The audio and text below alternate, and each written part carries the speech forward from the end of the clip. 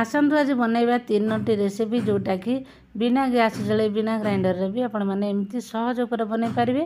ତା ପୁଣି ହଜାର ହଜାର ଟଙ୍କା ବଞ୍ଚେଇ ପାରିବେ ଏଇ ସମର ସିଜିନରେ ତ ଫ୍ରେଣ୍ଡସ୍ ଚାଲନ୍ତୁ ସେଇଟା ବନେଇବା। ଆମେ ପାଚିଲା ଆମ୍ବର ରେସିପି ଏମିତି ଦେଖନ୍ତୁ ମିନି ମିନି କେତେ ସୁନ୍ଦର ଦେଖାହେଉଛି ନା?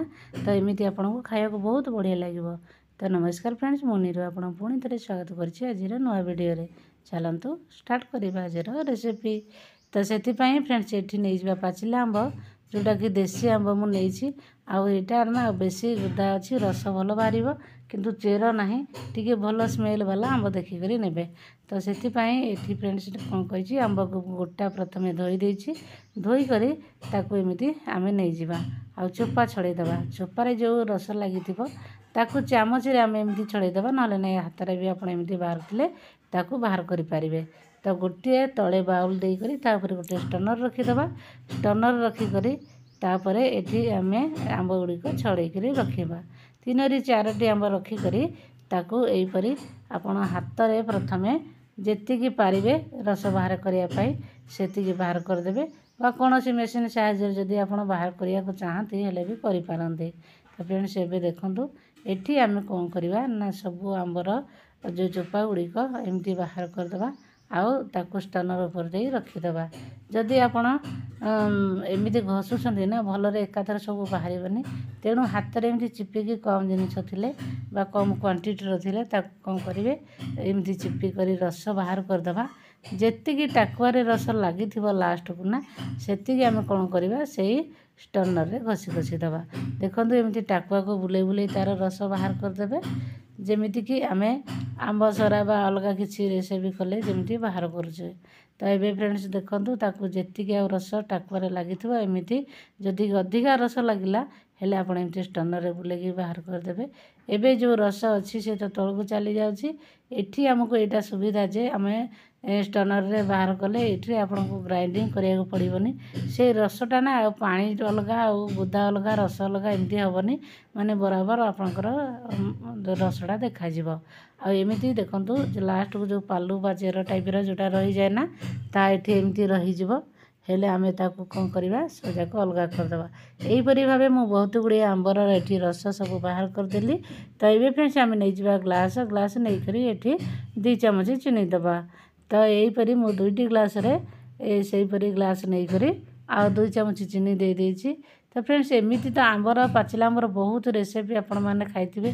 ଏମିତି ବହୁତ ସହଜ ଆଉ ପ୍ରକ୍ରିୟାରେ ବହୁତ ଟେଷ୍ଟି ରେସିପି ଆପଣଙ୍କର ହେବ।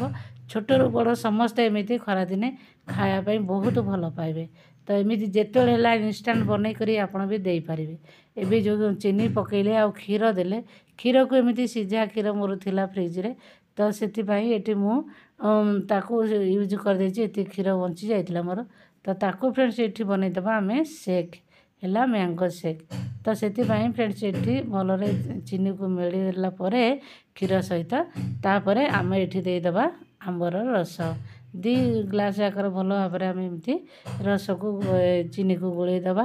ତାପରେ ଏଠି ଥଣ୍ଡା କରିବା ପାଇଁ ଦୁଇ ତିନି ଟୁକୁଡ଼ା ଆମେ ଦେଇଦେବା ଆଇସ୍ର କ୍ୟୁବ୍ ଏ ଆଇସ୍ କ୍ୟୁବ୍କୁ ଦେଖନ୍ତୁ ଏମିତି ପକାଇ ନେଲା ପରେ ଟିକିଏ ଆପଣ ଚିନିକି ଆଉ ଟିକେ ଚେକ୍ କରିନେବେ ଆପଣଙ୍କର ଭଲ ଭାବରେ ମିଶିଛି ନା ନାହିଁ।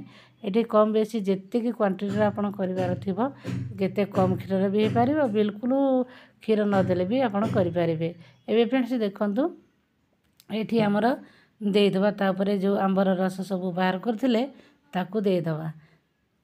ଏମିତି ଆପଣ କ୍ଷୀରର କ୍ୱାଣ୍ଟିଟି ବି କମ୍ ବେଶୀ କଲେ ବେଶୀ କିଛି ଫରକ ପଡ଼ିବନି କିନ୍ତୁ କ୍ଷୀର ଟିକେ ଏଇଟା ମୋ ବହୁତ କ୍ଷୀର ଥିଲା ମରି ମରିକି ଏ ତ ମୋଟା ମୋଟା ଅଛି ଆଉ ତ ଖାଇବାକୁ ଆଉ ଟିକେ ବେଶୀ ଟେଷ୍ଟି ଲାଗିବ। ତ ସେଥିପାଇଁ ମୁଁ କ୍ଷୀର ଟିକେ ଅଧିକା ନେଇଯାଇଛି ଫ୍ରେଣ୍ଡସ୍ ତ ଏବେ ତାକୁ ଭଲ ଭାବରେ ଗୋଳେଇ ଦେବା। ଏଠି ଆମର ଏଥିରେ ଖାସ୍ କିଛି କରିବାର ନାହିଁ କିନ୍ତୁ ସେକ୍ ନା ବହୁତ ବଢ଼ିଆ ଲାଗେ। ଏମିତି ଟିକେ ଥଣ୍ଡା ଥଣ୍ଡା ଲାଗୁଥିବ ଆଉ ଆମ୍ବର ସ୍ମେଲ୍ ବି ଆସୁଥିବ ଆଉ ଖାଇବାକୁ ବି ପୁରା ଯେମିତି ଲାଗୁଥିବ କି ଆପଣଙ୍କର ପୁରା ମଜା ଆସିଯିବ ଖାଇବା ପାଇଁ। ଆପଣ ଚାହିଁଲେ ଏମିତି ଡାଇରେକ୍ଟ ବି ଏଥିରେ ନା କ'ଣ କରିବେ ଆଇସ୍କ୍ରିମ୍ ବି ବସାଇ ପାରିବେ। ଫ୍ରେଣ୍ଡସ୍ ଏଥିରେ ଏଇ ଆଇସ୍କ୍ରିମ୍ ବି ବହୁତ ଟେଷ୍ଟି ଲାଗିବ। ତ ଏହିପରି ଫ୍ରେଣ୍ଡସ୍ ଦେଖନ୍ତୁ ମୁଁ ଆଉ ଟିକେ ଟିକେ ଉପରେ ଦେଇଦେଲି ଆମ୍ବର ରସକୁ ଦେଇକରି। ଏଠି ଅଳ୍ପ ଟିକେ ମୁଁ ନେଇଯାଇଛି ଖାଲି ଆପଣଙ୍କର ବାଦାମ ଯେଉଁଟାକି ପିସ୍ତା ବାଦାମ ଟିକ୍ ଟିକ୍ କଟିଂ କରି କରି ତାକୁ ଉପରେ ଦେଇଦେଇଛି ଯେମିତିକି ଆମେ ପିଇଲା ବେଳେ ଟିକେ ଟିକେ ଦାନା ଦାନା ମୁହଁକୁ ଲାଗିବ ଆଉ ଟିକେ ଟିକେ ଚୋବେଇବା ସହିତ ଆମେ ପିଇବିଲା ପିଇଲେ ନା ଥଣ୍ଡା ଥଣ୍ଡା ବହୁତ ମଜା ଆସିବ। ତ ଏବେ ଫ୍ରେଣ୍ଡସ୍ ହେଇଗଲା ଆମର ମ୍ୟାଙ୍ଗୋ ସେକ୍ ରେଡ଼ି ତ ଏବେ ଏବେ ଫ୍ରେଣ୍ଡସ୍ ହେଇଗଲା ୟାକୁ ତାକୁ ଆମେ ସାଇଡ଼୍ କରିନେବା। ତାପରେ ମୁଁ ଆପଣଙ୍କୁ ଦ୍ୱିତୀୟ ରେସିପିର ଦେଇଦେଉଛି ଆଇଡ଼ିଆ ତ ଫ୍ରେଣ୍ଡସ୍ ଏବେ ଆମ୍ବ ରସରେ ଆମେ କିଛି ଚିନି ମିଶାଇଦେବା ଚିନି ମିଶାଇ କରି ଭଲ ଭାବରେ ଫେଣ୍ଟି ନେବା। ଦେଖନ୍ତୁ ଏମିତି ଫେଣ୍ଟି ନେଇକରି ତାକୁ ଆପଣ ଏମିତି ଟିକିଏ ଦୁଇ ଚାରି ମିନିଟ୍ ପାଇଁ ଯଦି ଆପଣ ବେଶୀ ଦିନ ରଖିବାକୁ ଚାହାନ୍ତି ତିନି ଚାରି ମାସ ପାଇଁ ହେଲେ ଆପଣ ଏମିତି ଫ୍ରୁଟି ଟାଇପ୍ର ଆପଣ ଏମିତି ଡାଇରେକ୍ଟ ଏମିତି ପିଇପାରିବେ ବିନା ଗ୍ୟାସ୍ରେ ଯଦି ଇନଷ୍ଟାଣ୍ଟ ପିଉଛନ୍ତି ପିଇପାରିବେ ନହେଲେ ନାହିଁ ତାକୁ ଗ୍ରାଇଣ୍ଡିଙ୍ଗ କରି କରି ଟିକେ ସିଝେଇ ଦେବେ ବା ଏମିତି ଡାଇରେକ୍ଟ ସିଝେଇ ଦେବେ ତାପରେ କରିପାରିବେ। ତାପରେ ଥାର୍ଡ଼ରେ ଆମେ ବନେଇବା ତାକୁ ଆଇସ୍କ୍ରିମ୍ ଆପଣ ଆଇସ୍କ୍ରିମ୍ ମୋଲ୍ଡରେ ବଡ଼ବାଲା ବନେଇ ପାରନ୍ତି କିମ୍ବା ଗ୍ଲାସ୍ରେ ବି ବନେଇ ପାରନ୍ତି ନହେଲେ ନାହିଁ ଏଠି ଆପଣ ଯେଉଁ ଆଇସ୍ ଆଇସ୍କ୍ରିମ୍ର ଯେଉଁ ଟ୍ରେ ଥାଏ ନା ଆଇସ୍ର ଯେଉଁ ଟ୍ରେ ଆମର ଫ୍ରିଜ୍ରେ ମିଳିଥାଏ ତା ସହିତ ବି ଏମିତି ଏମିତି ଛୋଟ ଛୋଟ ମିନି ମିନି ଆପଣ ଆଇସ୍କ୍ରିମ୍ ବି ବନେଇ ପାରିବେ। ଦେଖିବେ କେତେ ସ୍ୱାଦିଷ୍ଟ ଲାଗିବ। ତା ସେଥିରେ ବି ମୁଁ ଟିକେ ଟିକେ ବାଦାମ ମିଶାଇ ଦେଇ ଛୋଟ ଛୋଟ କାଟିକରି ପିସ୍ତା ବାଦାମ ତ ସେଇଟା ଆମେ ଖାଇଲା ବେଳେ ନା ଟିକେ ଟିକେ ମୁହଁକୁ ଦାନା ଆସିବ ତ ଆହୁରି ମଜା ଲାଗିବ। ତ ଏବେ ଫ୍ରେଣ୍ଡସ୍ ଦେଖନ୍ତୁ ଏଇଟା ଆମେ ସେମିତି ଫୁଲ୍ କରିଦେବା। ଏବେ ଯଦି ଷ୍ଟିକ୍ ଆପଣ ଦେବେ ନା ସେ ଷ୍ଟିକ୍ ଗୁଡ଼ିକ ସବୁ ଏମିତି ଶୋଇଯିବ। ତେଣୁ ଆମେ କ'ଣ କରିବା ଗୋଟେ ଦୁଇ ଘଣ୍ଟା କେତେ ଏମିତି ତାକୁ ଫ୍ରିଜରରେ ରଖିଦେବା। ଟିକିଏ ଉପରଟା ସେଟ୍ ହେଇଗଲେ ତାପରେ ଆମେ ଷ୍ଟିକ୍ ଗୁଡ଼ିକ ଲଗାଇବା। ଏବେ ଫ୍ରେଣ୍ଡସ୍ ଚାଲନ୍ତୁ ଆମେ ଫ୍ରିଜ୍ରୁ ଦୁଇ ଘଣ୍ଟା ପରେ ମୁଁ ବାହାର କରି ନେଇ ଆସିଲି। ଏବେ ଦେଖନ୍ତୁ କେତେ ସୁନ୍ଦର ଷ୍ଟିକ୍ ଗୁଡ଼ିକ ଏମିତି ସିଧା ସିଧା ରହିଯାଉଛି। ଏହିପରେ ଏହିପରି ଭାବେ ଷ୍ଟିକ୍ ଦେଇକରି ଆପଣ ଛୋଟ ପିଲା ହେଉ ବା ବଡ଼ ହେଉ ଏମିତି ତିନି ଚାରିଟି କ୍ୟୁବ୍ ସେମାନଙ୍କୁ ଦେଇଦେବେ ଖାଇବାକୁ। ଆଉ ଅବଶିଷ୍ଟ ଯେତିକି ହେବ ନା ତାକୁ ବି ଏମିତି ରଖିକରି ଆଠ ପନ୍ଦର ଦିନ ପର୍ଯ୍ୟନ୍ତ ଆରାମସେ ଖାଇପାରିବେ। ଆଉ ଏମିତି ଫ୍ରୁଟି ଯେଉଁ ଆପଣଙ୍କୁ କହିଲି ନା ତାକୁ ତ ଆପଣମାନେ ଏମିତି ଦୁଇ ତିନି ମାସ ରଖିକରି ଆରାମସେ ଖାଇନେବେ। ତ ଫ୍ରେଣ୍ଡସ୍ ଏବେ ଦେଖନ୍ତୁ ଯେତେବେଳେ ଆମ୍ବ ସିଜିନ୍ ଅଛି ଏମିତି କରିକି ରଖିଦେବେ ପିଲାମାନେ ବହୁତ ଖୁସି ହେବେ। ଏବେ ଦେଖନ୍ତୁ ଓଭରନାଇଟ୍ ମୁଁ ଛାଡ଼ି ଦେଇଥିଲି ଏବେ ସେଟ୍ ହେବା ପାଇଁ ଏବେ ସେଟ୍ ହେଇଯାଇଛି ଏବେ ତାକୁ ଆମେ ସବୁ ଏମିତି ପ୍ଲେଟ୍କୁ କାଢ଼ିଦେବା ମୁଁ ଦେଖାଇ ଦେଉଛି ଆପଣ କେତେ ସୁନ୍ଦର ହେଇଯାଇଛି। ଦେଖନ୍ତୁ କେତେ ସୁନ୍ଦର ମିନି ମିନି ଆପଣଙ୍କର ମ୍ୟାଙ୍ଗୋ ଆଇସ୍କ୍ରିମ୍ ରେଡ଼ି ହେଇଗଲା। ତ ଏମିତି ଆପଣଙ୍କର କୌଣସି କପ୍ରେ ଆପଣ ଦେଇଦେବେ ନା ପିଲାମାନଙ୍କୁ ତ ପିଲାମାନେ ବି ଖୁସିରେ ଖାଇବେ ବଡ଼ମାନେ ବି ଖୁସିରେ ଖାଇବେ। ଆଉ ଦେଖିବାକୁ ବି ସୁନ୍ଦର ଖାଇବାକୁ ବି ଟେଷ୍ଟି। ଆଉ ତାପରେ ବନେଇବା ବି ବହୁତ ସହଜ।